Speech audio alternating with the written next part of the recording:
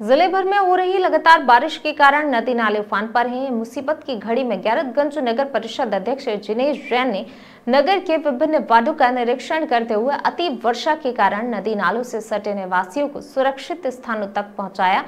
वहीं गैरतगंज के लगभग 18 से 20 परिवारों को नव अध्यक्ष जिनेश जैन ने अपनी युवा टीम के साथ और अनुविभागीय अधिकारी रवि श्रीवास्तव के नेतृत्व में राजस्व विभाग टीम ने क्षतिग्रस्त मकानों का निरीक्षण किया।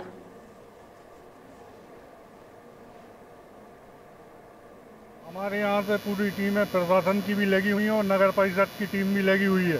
वार्ड नंबर पाँच और वार्ड नंबर तीन और पंद्रह में जिन लोगों के यहाँ पानी घरों से लग गया, उनको हम यहाँ से शिफ्ट कराकर सुरक्षित स्थान पर ले जा रहे हैं और उनके खाने पीने की, रहने की पूरी व्यवस्था कर रहे हैं। दूसरा एसडीआरएफ की टीम भी है, डिस्ट्रिक्ट की भी रेस्क्यू टीम, होमगार्ड टीम यहाँ पे उपस्थित है। अभी बीना नदी थोड़ा उफान पे है, लोग समझ नहीं रहे थे तो हम लोग समझाइश देने ही आए थे और अभी इन्हें तत्काल दो जगह शिफ्ट किया जा रहा है, एक तो मंडी प्रांगण में हमने बनाया है, रिहेबिलिटेशन सेंटर, दूसरा बॉयज़ हॉस्टल में बनाया है। तो दोनों जगह जहाँ भी लो लाइंग एरियाज़ में अभी पानी आ रहा है, बाढ़ आ रही है, बाढ़ की स्थिति हो रही है, वहाँ से लोगों को तत्काल शिफ्ट करवा रहे हैं।